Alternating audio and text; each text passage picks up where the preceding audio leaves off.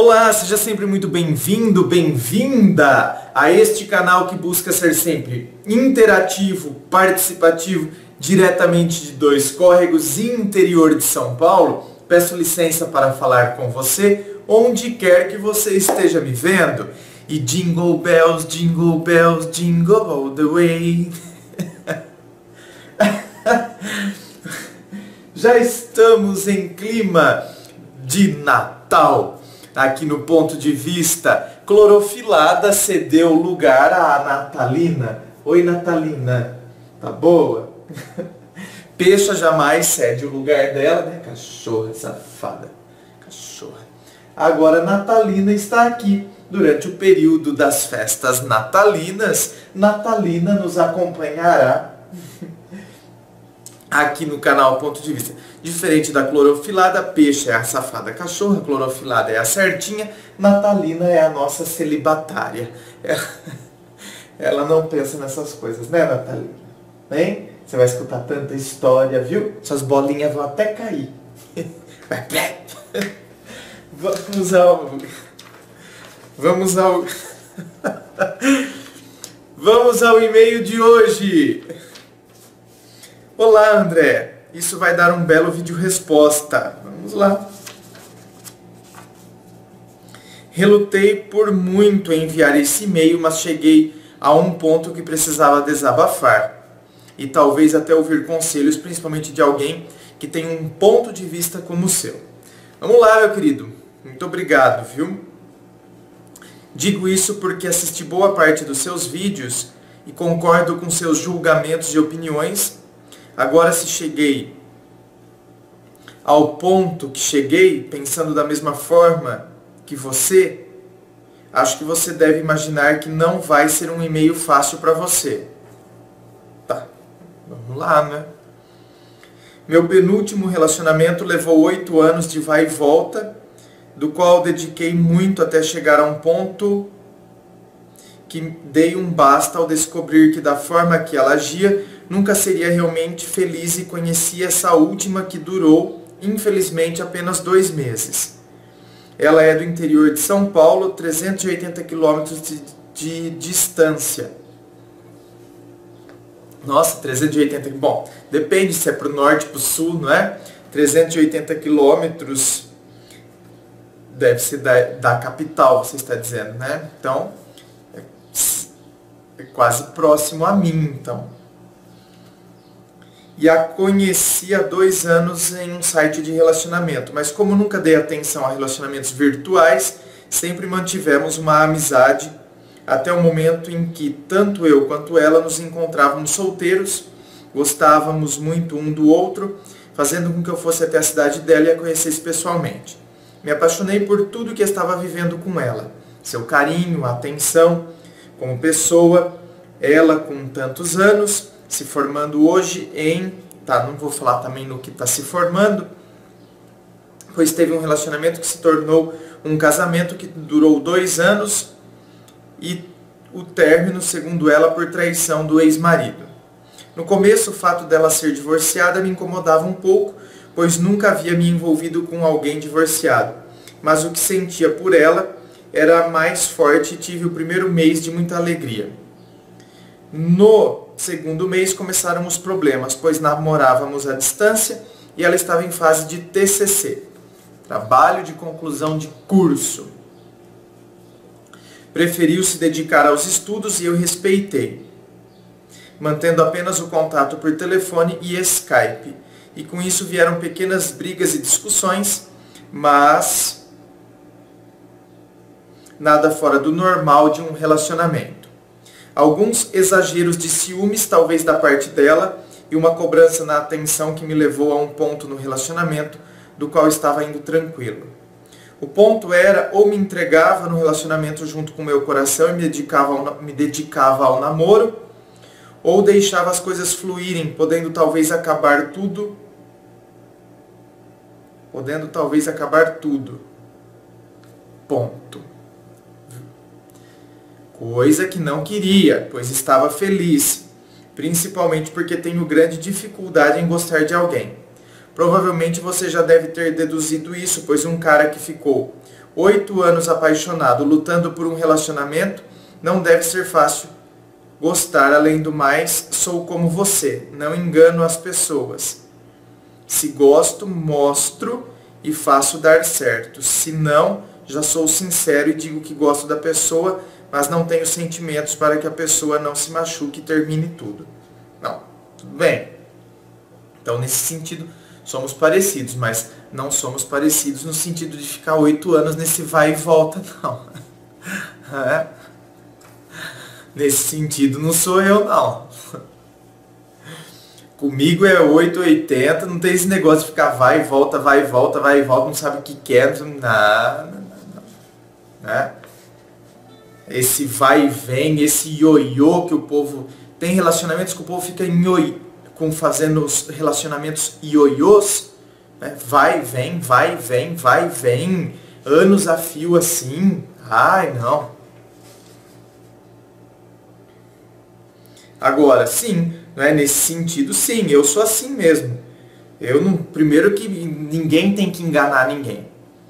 E temos que ser, por isso que, por isso que eu estou dizendo, temos que ser decididos. Né? E vai e vem não combina com decisão vai e vem fica uma coisa muito indecisa, me parece. Ninguém sabe o que quer. E, ah, mas era ela que não sabia o que, que, o que queria. Tá, e você sabia o que queria? Não, eu sempre soube o que eu queria. Tá, então, não é? Quando a gente sabe o que a gente quer, somos nós que precisamos tomar um posicionamento e chegarmos a uma decisão, já que sabemos o que queremos. Então, se sabemos o que queremos é porque somos decididos. Então, somos nós que temos que tomar uma decisão quando a pessoa se mostra indecisa. Porque nós é que temos que pensar o que eu quero para mim. E diante disso, já que somos decididos, tomarmos um posicionamento e tomarmos uma decisão firme. Não, eu não quero esse relacionamento ioiô. Vou ficar oito anos assim, vai, vem, vai, vai, vai, vem. Oito anos desse jeito.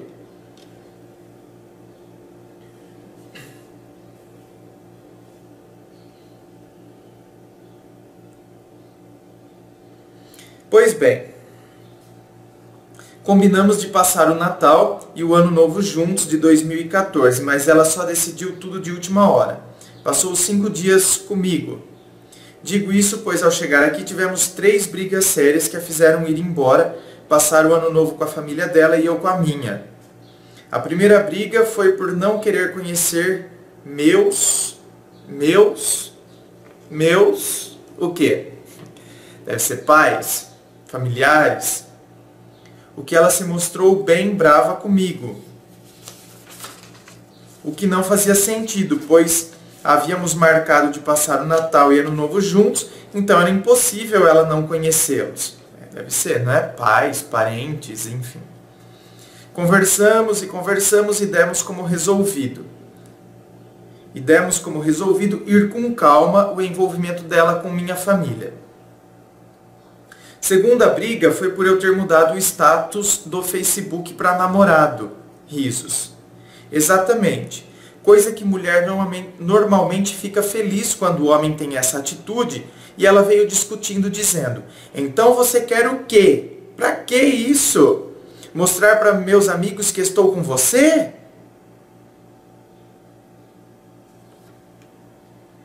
O que não deixa de ser mentira mas sim porque queria mostrar para todos que estava feliz com alguém que amava. Além do mais, ela, desde que voltou de viagem nessa última vez, começou a me incomodar com certas atitudes, como por exemplo passar horas no bate-papo com amigos, homens, dela no WhatsApp. É, esse negócio, você vê como que rede social, por isso que a sociedade vai se se reajustando, vai se redefinindo. Hoje rede social é o que mostra como está uma relação amorosa.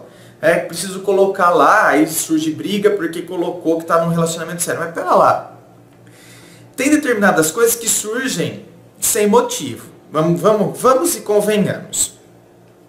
Ah, um monte de mulher gostaria que colocassem num relacionamento sério. Tá. Mas um monte de mulheres também gostariam de ao menos serem consultadas sobre isso. E aí, nós estamos num relacionamento sério, como que é, como que não é, eu tô muito afim de você, tá, tá, tá. Ó, já vou até mudar meu status, então vamos mudar o status no Facebook, sabe coisa assim? Agora, um vai e muda. Não, pera lá, você foi lá e mudou para um relacionamento sério pra quê? Faz dois meses. Então, parece-me que são decisões que vão sendo tomadas por conta e não se leva em relação a outra pessoa. Não se leva né, em consideração o, o diálogo e o que está de fato acontecendo. Como se eu quisesse, na verdade, pressionar a outra pessoa.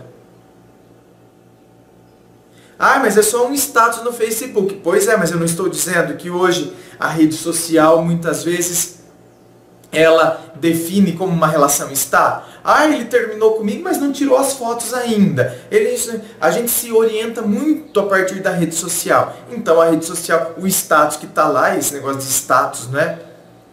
Tem gente que só coloca aquilo só por mero status mesmo, porque quer colocar que está num relacionamento sério com alguém. Então é o mero status mesmo. É muito mais para mostrar para os outros do que expressão do que tem consigo mesmo. Por isso que tem que ter um diálogo, talvez tenha ter sido conversado, talvez ela achou que foi uma atitude muito precipitada da sua parte, porque, ué, vocês estão se relacionando, vocês estão se conhecendo, porque dois meses, meu Deus do céu, é uma fase de conhecimento, apenas e tão somente, conhecimento. Agora, tem gente que depois de 15 dias né, já fala que está namorando, já fala que ama. Então, se está numa fase de conhecimento, eu estou preparado para assumir um relacionamento sério. Se estamos nos conhecendo, se é fase de conhecimento, para que depois a gente possa dar este passo rumo a uma relação séria e podemos dizer, de acordo com de acordo com a realidade da nossa reação, da nossa reação, olha, de acordo com a realidade da nossa relação, a gente pode supor que estamos sérios, não estamos? Tá, então vamos mudar o status. Agora, um vai por conta, muda. Assusta a outra. Escuta, mas por que você mudou? Para que isso? Aí quando não se sabe dialogar, vira discussão, você está vendo? Por causa de uma coisinha relativamente boba, mas que tem determinadas implicações isso. Você colocar que está num relacionamento sério significa que a relação entrou numa seriedade mesmo. Não é mero uma mera mudança de status de uma rede social. E se uma das pessoas não considera que a relação pode ser considerada séria ainda, não porque não respeite. Ah, então não me respeita porque ela não me respeita? Não, porque ela acha que relação séria implica muitas coisas para que possa chegar a esta definição de que estamos num relacionamento sério. Não significa eternidade. Só porque fala que a relação é séria, significa eternidade. Então estaremos juntos por todo o sempre. Não. Mas tem gente que passa por algumas situações em relações anteriores, já está calejado e aí pensa, não, pera lá, não é assim. A gente tem que, não é, comer um saquinho de sal junto. Antes que a gente possa chegar a algumas conclusões aí de que realmente estamos envolvidos seriamente agora? Tá, vamos lá. No fim, tirei meu status e não coloquei nada para não estender a briga, pois já estava cansado da primeira briga em que tivemos e estávamos em épocas festivas e não era momento para brigas. Observação: ela sempre ocultou o status dela no Facebook. Somente uma vez antes de nos envolver que colocou namorando, mas um namoro que não durou quase nada. Você está vendo? É isso que eu estou dizendo. Da pessoa que está calejada. A pessoa, principalmente para a mulher. Toda hora aparece lá para a mulher. Tem um peso muito grande isso para a mulher. Por isso que tem que ser feito o exercício. Você está pensando com a cabeça do homem. Mas e o peso que isso tem para a mulher? Entrar e sair de um relacionamento. Vamos, vamos lá, vamos fazer um exercício. Uma mulher que entra e sai de, de relacionamento vai ser chamada do quê? De biscate. Ela é? Não, não é. Mas infelizmente ainda vivemos numa sociedade machista, em que o homem pode entrar e sair de relacionamento a toda semana. A mulher não. Né? Vamos jogar limpo aqui, vamos falar a realidade? Então você está vendo como muitas vezes as brigas acontecem porque a gente simplesmente não sabe enxergar a, a situação alheia. A gente não sabe se colocar na situação alheia, analisar a realidade, o contexto, analisar a história, analisar por que, que a pessoa agora está andando com mais cautela. Não vai colocar feito uma adolescentezinha apaixonada em um relacionamento sério só para pôr.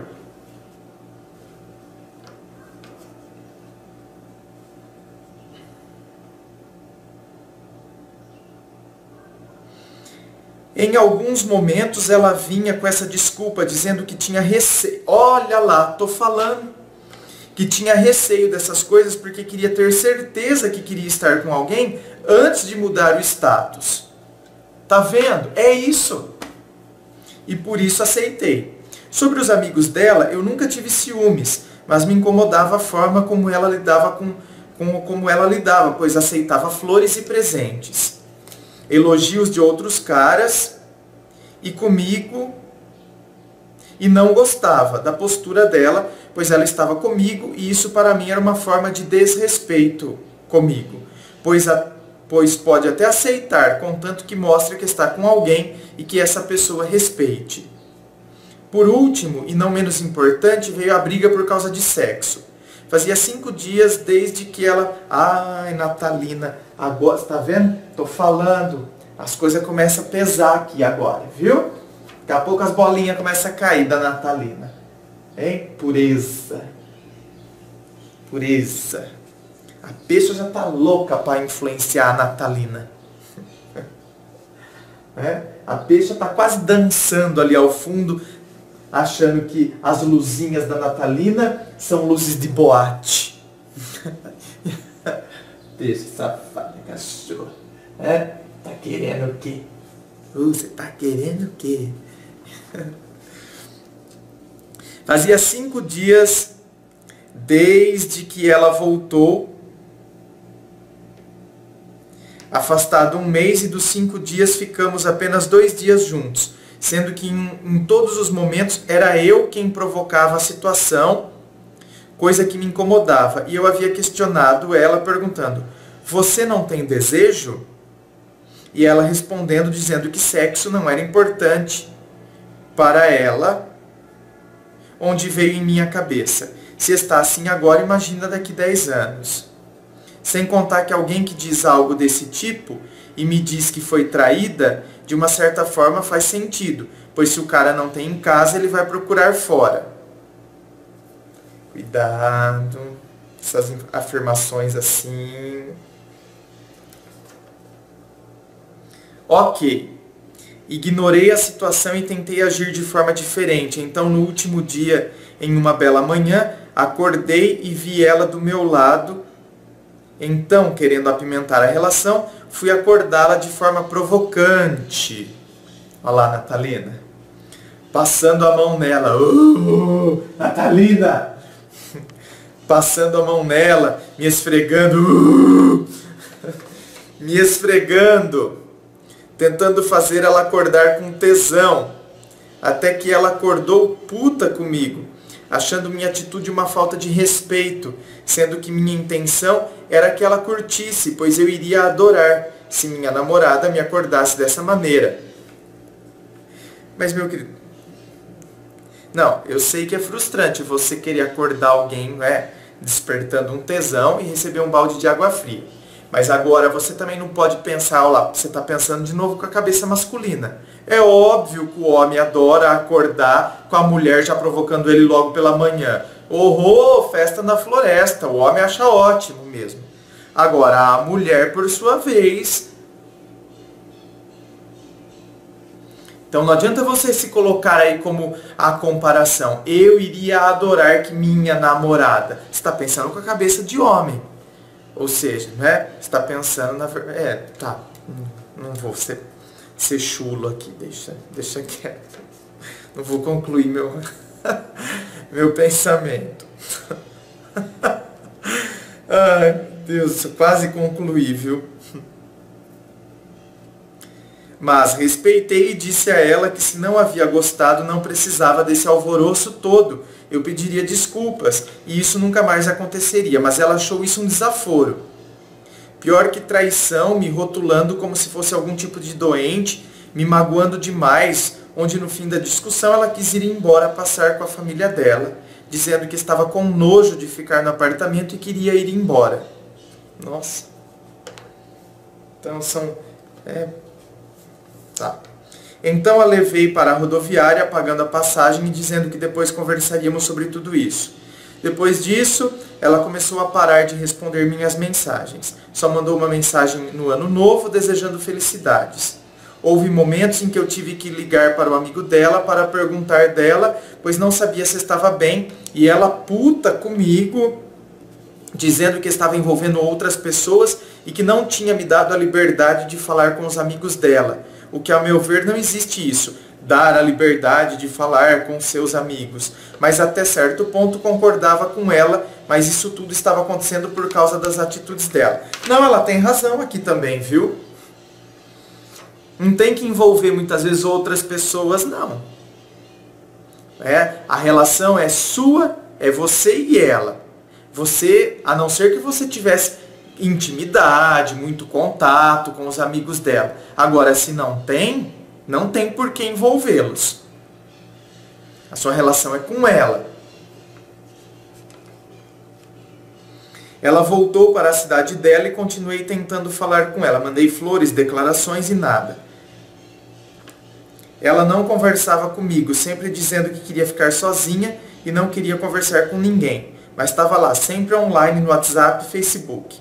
Após duas semanas, quase tentando falar com ela, sem nenhum resultado, eu parei com tudo.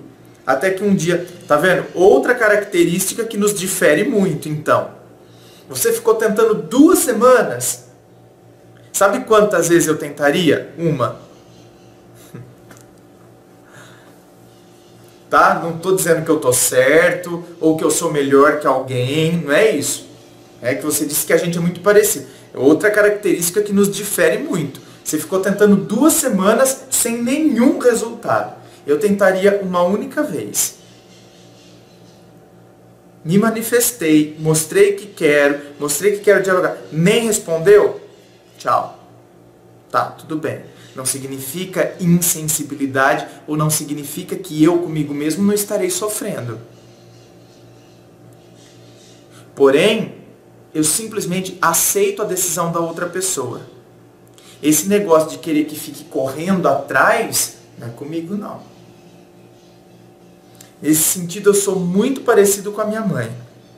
A minha mãe, ela é do tipo que se vai algum alguém em casa, né? Lá na casa, na nossa casa, lá no sítio, e uma visita, alguma coisa assim, né? até algum amigo meu, e a minha mãe fala, ó, né, fica à vontade, pega aqui. A minha mãe não é daquelas que ficam praticamente enfiando comida na sua goela.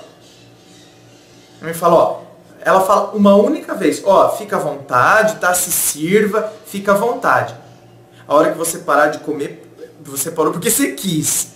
Se você ficar esperando a minha mãe falar assim, viu, pega mais. Não, pega, ó, quer que eu ponha para você? Jamais. É uma única vez.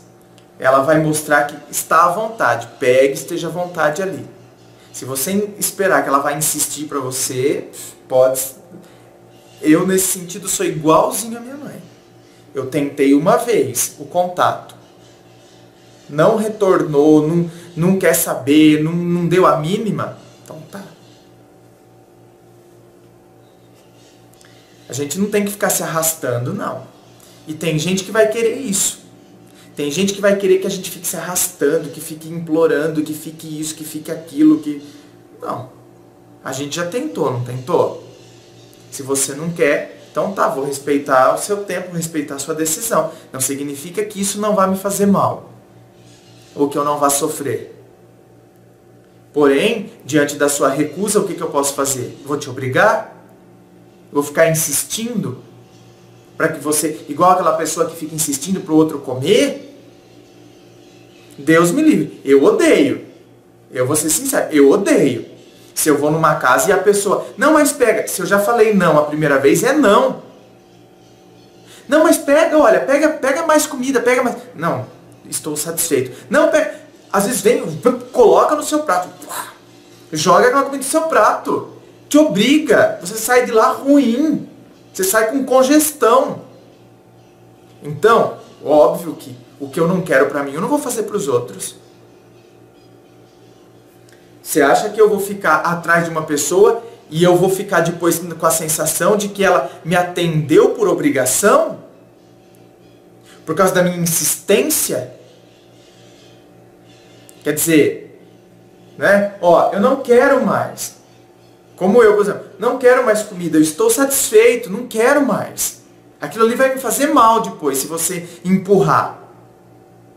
E eu vou me tornar aquele que fica ali, né, insistindo, aquele que fica ali obrigando a outra pessoa a me atender a falar comigo? Não. Não. Não vejo porquê. Não. Eu tentei. Você não quer? Então tá.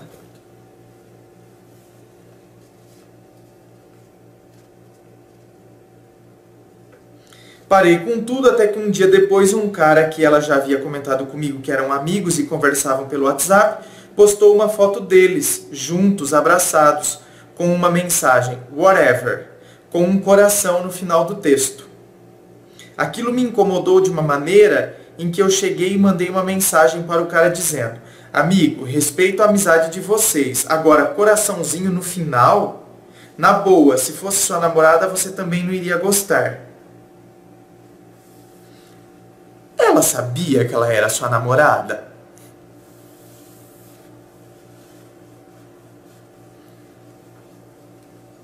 Que não tá me parecendo. Tá me parecendo que só pra você. Pra ela não era. Só pra você tinha um relacionamento sério. Pra ela não. É o que tá me parecendo até agora, viu? E você, ao invés de falar isso pra ela, vai falar pra ele. E o que ele me responde? Dizendo que nunca soube da minha existência, que ela nunca disse que namorava. Olha lá, tô falando. Né? Ela não considerava você como namorado, viu? Perguntei sobre as vezes que ela veio para São Paulo e no Natal que ficou comigo, e segundo ele, ela tinha dito que ia para casa de amigos e quando eu perguntei quanto tempo se conheciam, disse que em torno de uns três meses. Depois disso, ele tirou a foto que havia postado pedindo desculpas, dizendo que eram apenas amigos. Logo em seguida, ela já veio ligando, isso era uma hora da manhã, se enchendo da razão, dizendo que já havia me dito que não queria eu envolvido com os amigos dela, sendo que respondi dizendo que ela deveria baixar a bola, pois estava descobrindo um monte de coisa que não estava me deixando nada feliz veio dizendo exatamente, então era isso que você queria, estar comigo? Não, veio dizendo. Nossa, tá difícil, viu o seu e-mail. Veio dizendo o que? Só porque não disse para meus amigos que namorava, E eu respondendo: Exatamente. Então era isso que você queria, estar comigo,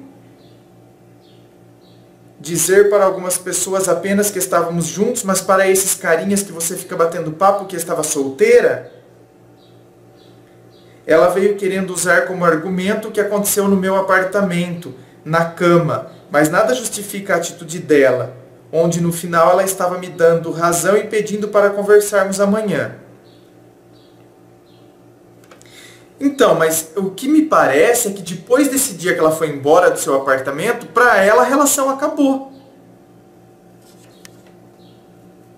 No dia seguinte, sem poder ligar para ela, pois ela não me permitia falar com ela, dizendo que estava rouca, sem voz, me fez ter essa conversa pelo WhatsApp, dizendo que não queria mais ficar comigo e que não estava feliz. Eu ainda tentei salvar o relacionamento tentando entendê-la, mas ela já veio dizendo que não existia mais nada para salvar. Estou falando, ó. Tem mais nada para salvar. Depois que ela veio dar do seu apartamento, depois de tudo aquilo, para ela a relação acabou. Talvez o erro tenha sido de não comunicar você, né? Ela tentou comunicar através do quê? Das atitudes. De não responder. É certo? Eu particularmente não considero certo.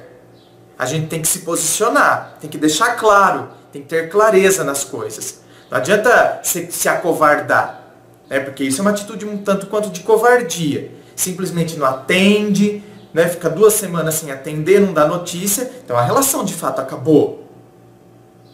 Agora, fala então, né? tenha a decência de falar que a relação acabou. Então, nesse sentido, está errado. Eu considero errado. Eu que gosto de tudo muito, muito às claras, muito transparência, as pessoas parecem que às vezes fogem um pouco disso. Então, é, não tinha mais nada para salvar, que ela simplesmente não queria, sem nenhum motivo. Eu que busquei esse tempo todo ser o melhor namorado que podia, dizendo que não e dizendo que não me amava. PS. Em uma conversa em casa, na semana após o Natal, ela tinha me dito que não me amava quando me declarei, mas que gostava demais de mim e por isso estava indo com calma. Quer dizer, você se declarou e ela disse que não, que ela não te amava, que ela gostava.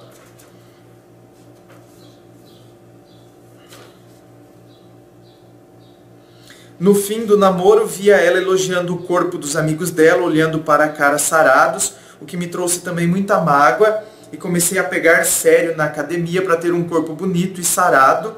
E talvez se fosse esse o motivo, nunca mais passar por isso de novo, sendo que hoje não tenho um corpo sarado, apenas sou magro. Cuidado.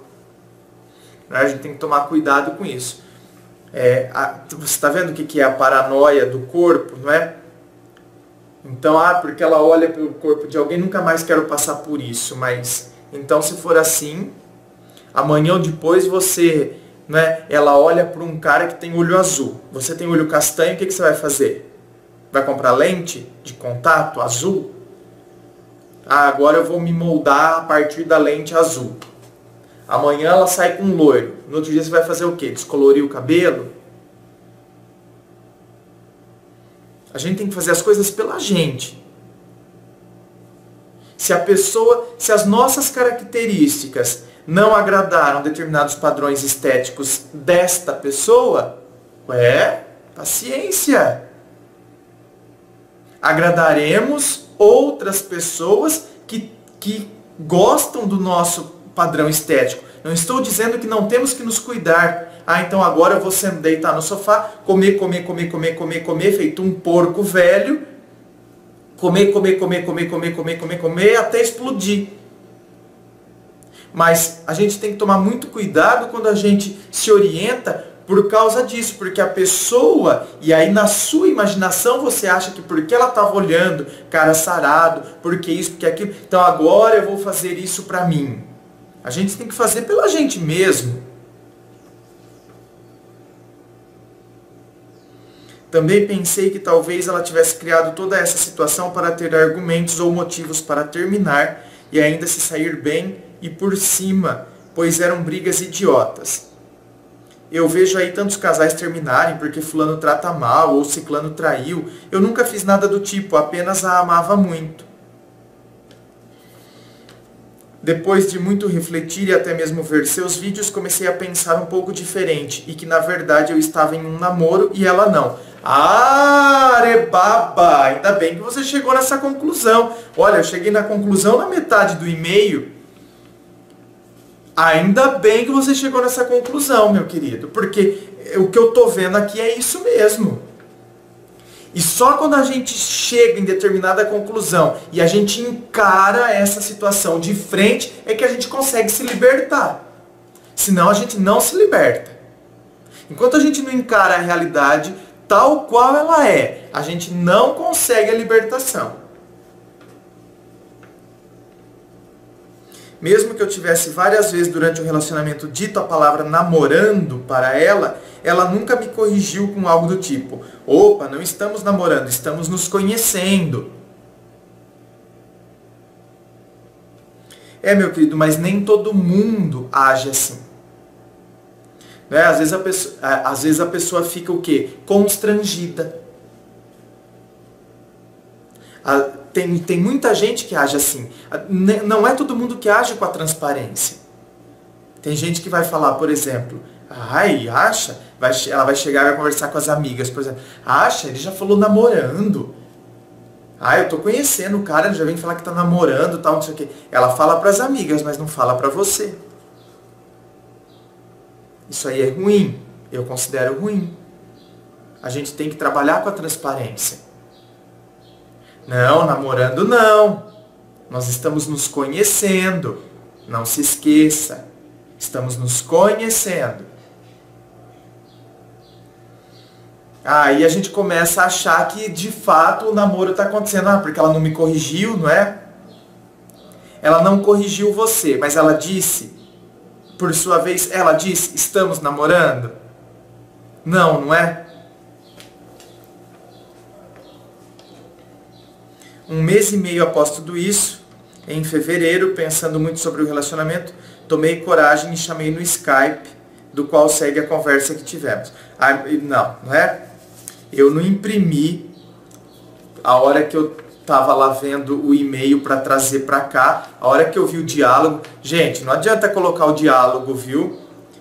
Do, do que foi conversado em Skype, é, inbox de Facebook, coloca todo aquele diálogo lá, não tem condição de, né, de ficar lendo diálogo, tem que pegar os pontos principais do relacionamento, colocar no e-mail e enviar para que a gente possa fazer a gravação do vídeo. Resumidamente, ela me atende, responde minhas mensagens e me trata bem agora. Mas depois desse corte e a forma que ela disse sobre ela não sentir vontade de falar comigo, sinceramente não sei mais como lidar com tudo isso, pois ela mostra não querer que eu saia da vida dela, mas ao mesmo tempo não quer falar comigo e ainda diz que não pretende voltar a conversar tão cedo. Então, tchau. Tchau. Tchau. Pô, já tá tudo dito aqui, não é? Tchau. Meu, meu querido, parte para outra. Para. Vai ficar aí alimentando uma coisa de uma pessoa que nem conversar com você quer? Para, gente, a gente precisa parar de alimentar coisas, a gente precisa enxergar a realidade de frente, hein? Pô, eu vou ficar alimentando um sentimento por uma pessoa que nem quer conversar comigo. Se não quer conversar, que é o princípio básico de qualquer relação, é a conversa, é o diálogo. Não quer nem isso, não quer o básico.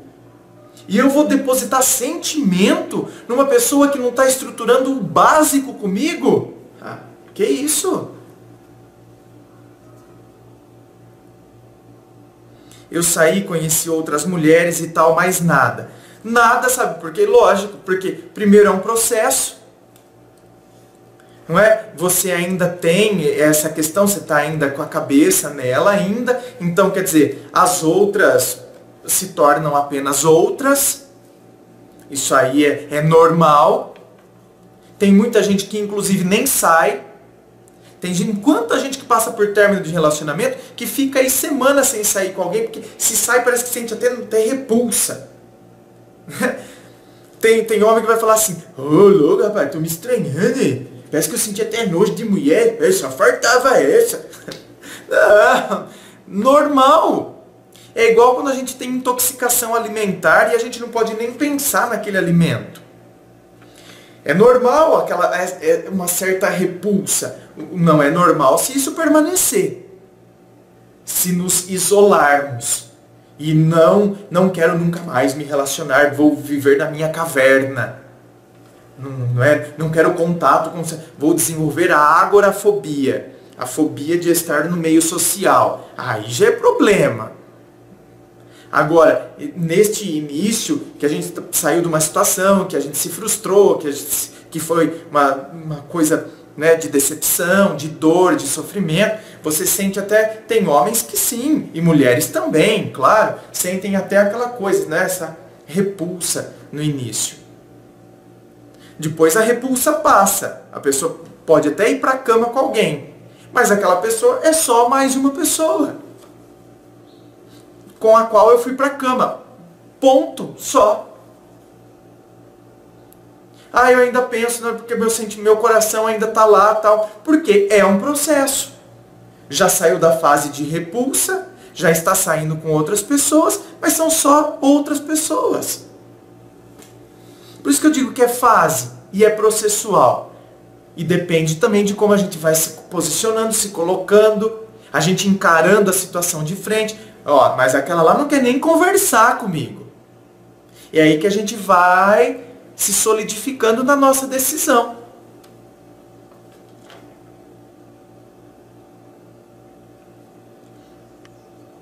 Acredito ser um cara atraente e se dependesse de mim já poderia estar namorando, mas não funciona assim comigo. Preciso ter alguma conexão. Claro, não é só com você, não é?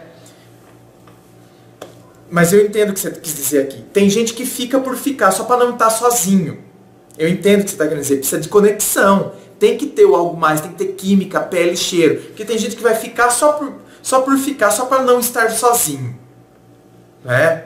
Ah, não, né? Ah, só para não, não ficar sozinho, eu vou ficar com você mesmo. Tem gente que até começa um namoro só para não se sentir sozinho. Eu entendo que você está dizendo aqui, que, que, tem que ter essa conexão.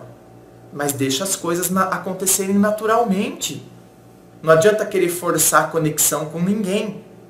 A gente sente quando tem essa conexão, quando bate, não é? A pele, a química, o cheiro. Depois a gente vai perceber um outro aspecto. Aí a gente vai perceber, porque às vezes bate pele, química, cheiro. Bateu. Só que muitas vezes na, na convivência a gente percebe que não tem afinidade para que a gente permaneça, para que os, essa química, pele, cheiro, essa conexão, para que ela dure.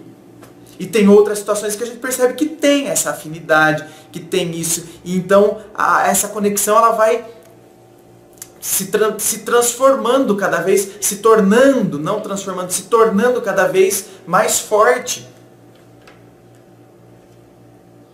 Preciso ter alguma conexão, algum sentimento pela pessoa. Além disso, sinto demais a falta dela porque amo e somente quero fazer o que é certo. Ou infelizmente seguir minha vida, podendo talvez nunca mais ser tão feliz quanto era ao estar ao lado dela.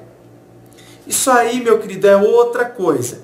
Além de ter a fase da repulsa, o sentimento de que eu nunca mais serei feliz como eu era feliz ao lado da pessoa é outra característica, porque a gente julga tudo a partir da situação na qual estamos.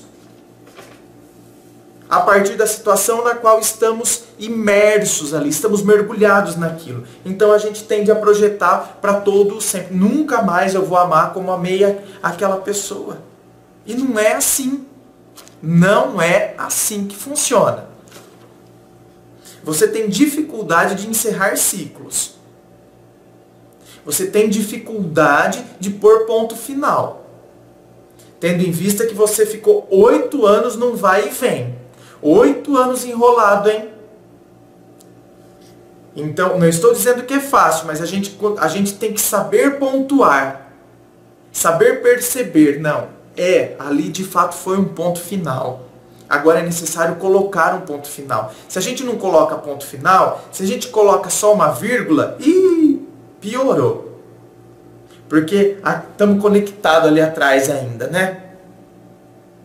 É como se ah, eu preciso da frase anterior para eu sentir é, é, significado na frase que eu estou agora.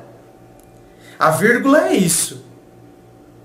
Se tem uma vírgula, é porque se eu isolar essa frase, ela perde o sentido. Se eu tirar ela, aquela, a, o antes da vírgula. Diferente do, do ponto. O ponto final não. Eu vou pegar essa frase que vem pós ponto final, vai ter sentido independente daquela, daquela frase anterior antes do ponto. Daqui para frente começa a ter sentido. Então, quantas vezes a gente, quando a gente não sabe colocar ponto final, a gente, o término foi só uma vírgula, porque a gente se mantém esperançoso. Então parece que a nossa vida não faz sentido. Se eu não tiver, porque eu fico sempre conectado com aquela frase anterior. E eu não percebo que aquela frase anterior, na verdade, chegou ao fim.